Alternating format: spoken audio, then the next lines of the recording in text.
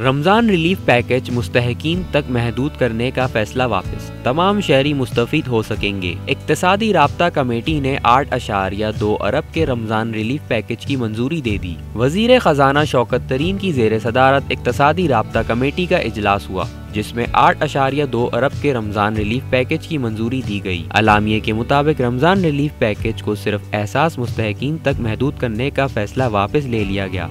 और अब Ramzan relief package utility stores पर तमाम शहरियों के लिए होगा। अलामिये में कहा गया है कि इजलास में जी ट्वेंटी ममालिक की जानब से कर्ज मौखर के इकदाम की मंजूरी दी गई, जिसके बाद जी ट्वेंटी के पंद्रह ममालिक के साथ कर्ज मौखर करने के इकदाम किए जाएँगे।